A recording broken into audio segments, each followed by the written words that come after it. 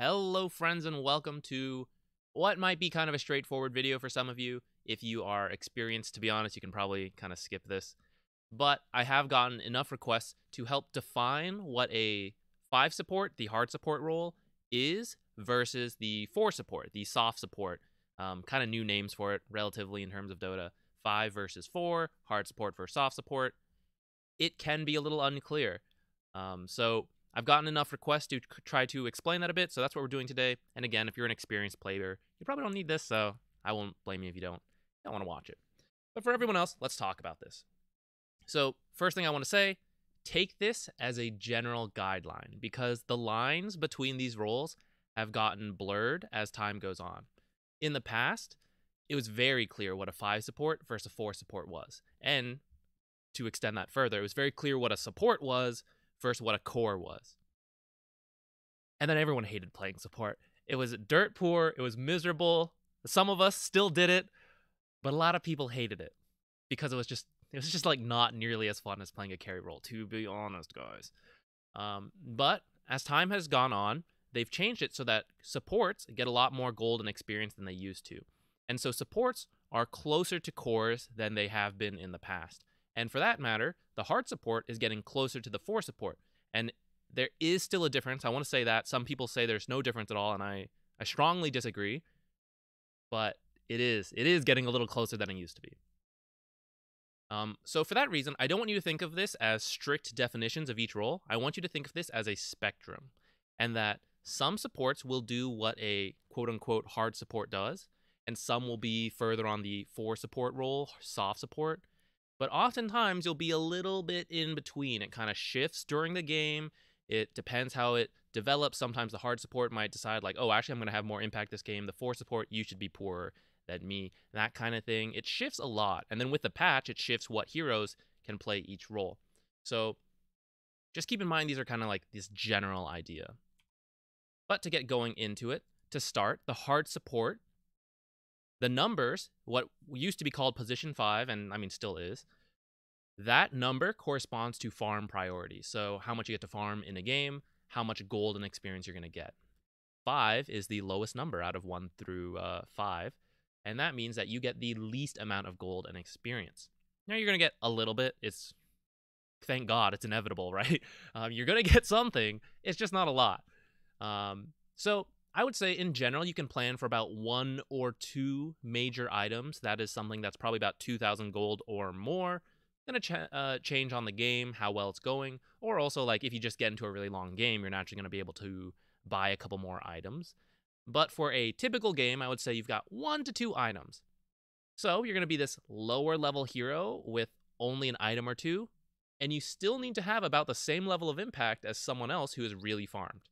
What that means is that your hero has to provide something without a lot of gold or experience. We're going to get a bit more into that in a little bit. But the soft support, comparing that, is that they're going to get a little bit more because four is higher than five in this priority list. Technically, five is the larger number math wise, but uh, you know, whatever. That means you're probably going to get about two to three items in a game, and you kind of need some of these items. So, like Earthshaker, he's a I'm going to use his, him as an example because he has been a very stable four support for a long time, so I think he'll be relevant even if you're seeing this video in the future. He really wants his Blink Dagger, because what Earthshaker does is he gets a sick Echo Slam. He sees the enemy grouped up, he blinks in, echoes, it's extremely quick, no one has time to react, unless you're like crazy good, and you win a team fight off of that. What if you don't have a Blink Dagger? What if you have no items?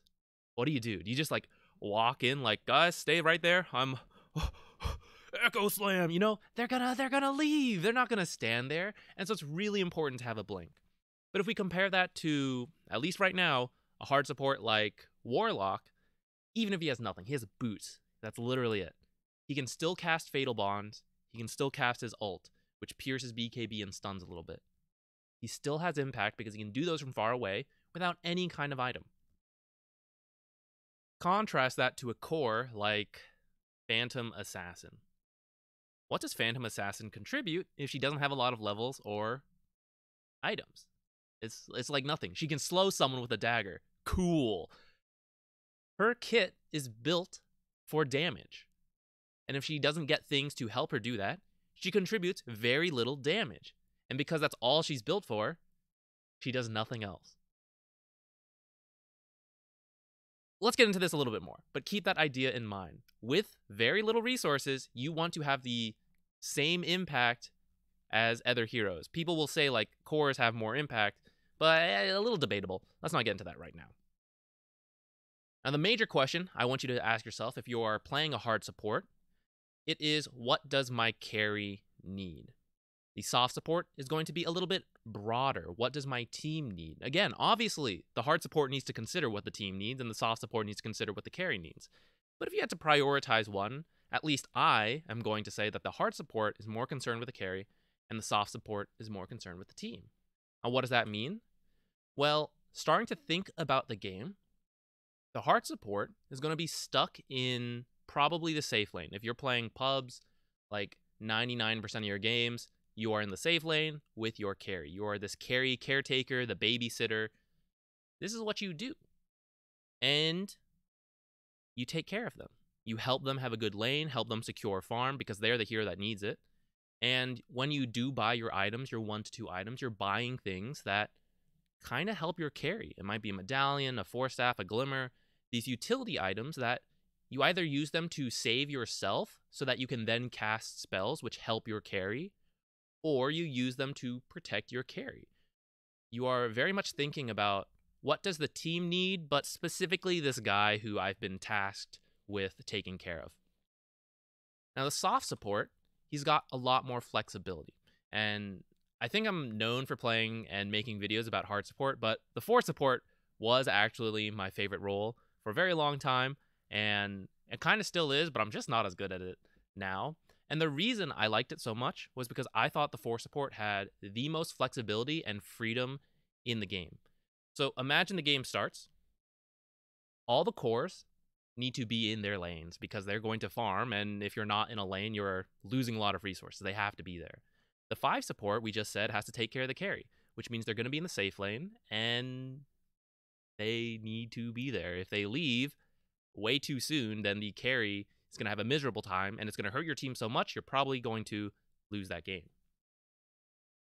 The four support, right now, it's a bit of a 2v2 meta in the side lane, so this isn't quite as applicable as it used to be, but I do believe it's still applicable a bit, but in the future I think it'll become more flexible again. I hope so, anyways. The four support had the freedom to decide, you know what? My hard carry will win this game if they get farmed enough. And so you would go tri lane. In your safe lane, you would guarantee your hard carry can farm, and you would just do that. Or you could say, wow, my mid laner, really strong tempo hero. If they get a good start, they will be able to kill everyone they want in the mid game. That is going to get us a lead to win the game. I'm going to go help them out. You secure runes, you gank the mid laner a lot, you get them a good start. Oh, you know what? The enemy carry will win the game if they get too farmed. Let me just stay in the off lane a lot with my off laner and just ruin the enemy carry's life. And we'll just keep focused on this. Just keep bothering this guy. Forget the other lanes. The force support had this job where you have to decide what does this specific game require for my team to win and what can I with the most flexibility do to help that situation. That's why I like the force support a lot. Nowadays, like I said, it's a bit more of a 2v2 meta, but it still kind of applies. You might start in the lane a little more, but eventually, as things start to rotate, the hard support kind of has to say, okay, what does everyone else on the team want to do? And then I will do the job that no one else wants to do. And the four support gets to think a little bit more about themselves and decide these are the plays I want to make to help the team to help the team win. Speaking of which, one of those jobs is warding, and I want to mention this now because everyone always says, "Oh, the hard support is the uh, the warder. They have to do everything about wards. Ping them if you don't have good vision." That's not fully true, guys. We just said the hard support is stuck in the lane. That means in the early game, the soft support, the force support, is actually going to have an easier time warding because they move around the map. So don't put everything on your five support. Cores and the force support in the early game, everyone has slots available. Get your wards because the hard support is stuck in one location. It's very difficult for them to help the hard carry, but still find time to ward the bottom rune. Like what the heck? I like I can't move everywhere, guys. The four support can, and the carries in their lanes, they'll be able to do that as well. But then, as the game progresses and slots start to fill up, the hard support then does assume the majority of warding in most games because they, with their only one to two items, they have the slots to hold wards, and because they don't have to collect resources, they have the time to move around. However, something else I want to mention though is that a common mistake I see is that people people think of warding as this individual task a hard support must dedicate a lot of time to. And that's like sort of true sometimes. Warding though should actually just be like this in-between task as you identify other things you need to do. So you decide, "Oh, I need to go go to the off lane and protect this tower." You go there and along the way you ward. Or you decide, oh, we are smoke ganking into the enemy jungle. You go, and along the way, you place a ward. You don't want to just go to the enemy jungle to ward and then decide, well, I'm here. What can I what can I uh, do now? Oh, looks like I'm actually needed on the other half of the map. I guess I'll walk there. It's kind of a waste of time. So warding for both roles should be something you do along the way to your other tasks in general. Sometimes you do have to ward as your primary task. I know it's kind of hard. Last thing I'm going to mention here you have to enable your team as the hard support. This is your core goal. What can I do for them? And this is going to come back to our idea that I need to be useful with minimal gold or XP. And so, what are some things I can contribute? Well, crowd control generally does not need any items. So, when you provide stuns, silences, slows, that sort of thing, as long as you have a few levels in that ability, it's probably pretty decent. And a two second stun in the early game is still going to be like pretty much just as impactful as a two second stun in the late game when the carries have so much damage that they can kill the enemy in two seconds as long as they're allowed to hit. So if you provide crowd control, great. Another common thing for the hard support to provide are saves. So someone like Dazzle or Oracle, your hard carry like we just said, they will do the carrying, they'll do the damage if they're alive and able to hit things. So, crowd control, you stun the enemy, they can hit things. What if they're killed too quickly? Well, that's an issue. Hey, we save them, and now they can do the damage without worrying about dying. The other thing is that carries are weak in the lane, so if you're a lane winner, you help your carry farm. There is like a mix of these usually. You're not going to do all of these. Some people like sort of can. Um, again, it's this spectrum of uh, what you need to do in a game, and it's like hard to say like you'll do this every single game. But those are some common traits of hard supports, and we'll see that in a little bit. Soft supports can focus more about themselves. Again, let me like emphasize, you're still thinking about your team, but you get to spend a bit more time thinking like, how do I make myself strong so that I can help my team? Whereas the hard support is like, okay, I I'm not gonna think about myself. What can I do for the team? And if I get strong along the way, that would be preferable. It's just this like slight difference in mentality. Um, so the soft support will take a bit more gold for that reason. Um, because they're thinking about how do I get my items so that I can then, for example, initiate something like Earthshaker or Clockwork. You want to initiate, start the fights because it's kind of risky to initiate. Um, you're the first hero in, and that means you could be focused and killed. This is why the soft support is a great hero to do this because, you know, they have a bit of gold to make sure they can initiate. But then if they get killed, eh, you know what? I was just a support, you know? And now the cores are alive and they can finish up the fight. So I really like when the soft support can play this initiation role.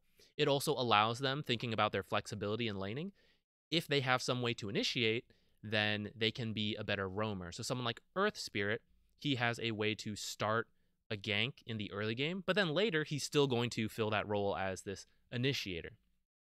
Now, some soft supports also provide a lot of damage. This can be in the overarching game sense, like they're going to contribute damage, um, which I like a little less, or they can just be generally stronger heroes in the early game because they want to ruin the enemy carry's life. Four supports tend to be stronger than five supports. Um, this is a. Uh, do I want to say that? I do want to say that, but but it's a very general rule. And there's a lot of higher level balancing things that come into play, such as where the creeps balance in the lane and then the towers providing buffs, blah, blah, blah. But the point is, five supports tend to be a little weaker than four supports, and that's why, like, usually the supports um, taking on a direct fight usually favors the four support. But again, there's a lot of complexity there, so I don't know how far we want to get into that. Um, yeah, let's let's talk about some heroes real quick. This is a feature in um, Dota Plus, and so it actually sorts by all the roles what heroes are played um, for each role, and kind of shows you that. So first, let's look at Herald. You'll notice there's a lot of heroes here, first of all, and there's a lot of overlap between these heroes. So, for example, Crystal Maiden here is also played as a soft support, hard support, soft support. AA, hard support, but also soft support. At lower ranks, there's not a clear definition between what the support roles are, and I I don't really know how to explain that. There's not a clear definition between like what each core is either. You'll find heroes in all sorts of different places, um, and that's kind of what I, what I want to highlight here. There's a lot of heroes that can fit both roles. The four support having more flexibility because they were a flexible hero. They then get more heroes that can do different things in there. Um, the hard support is a little smaller of a pool. But let's go ahead to the Divine and Plus bracket. You'll see a lot less heroes here, and the roles start to be a little bit more defined. And so let me uh, point it out. So here in the hard support, what do we see? We see Abaddon, someone with heals and saves, a decent laner. Dispels, protects your carry. Well, we talked about some of that. AA, his biggest contribution is his ultimate. Only needs level 6 for that. Of course, he'll like other stuff, but a big part of his laning is that he's long range, pokes him down, like decent laner, and then his ult is the big thing. Like this is why you pick AA, and he doesn't really need anything to do that. Bane, strong laner, oh, and then he's got a very strong uh, Fiend's grip for later fights. Doesn't really need a lot to do that. Things he buys just helps him do that same thing. Oh, I want to ult safely. I'll get an Aether Lens so I can ult from further away so that I'm in a safer position. I'll get a Glimmer Cape so I'm invisible while I'm Fiends gripping someone so that I can continue to do this. Chen, strong laner, pushes with people. Crystal Maiden, decent laner, enables her team with that aura, allows for a higher tempo pace. I don't really like Dark Willow as a 5 support, to be honest, but she does provide a lot of different crowd control abilities. Dazzle, a save, Disruptor, strong laner, setup with his abilities. Enchantress, strong laner. Grimstroke, strong laner. Io, depends on his laning partner, can be a decent laner, enables his carry a lot. It's kind of what Io does. Jakiro, decent laner, good stuns uh, for the late game. You see a trend. We don't have to go through all of them. Let's take a look at some soft supports. Bounty Hunter, a roamer, very fast, moves around. Actually, he's like moderately fast. We won't say very fast. There's faster heroes.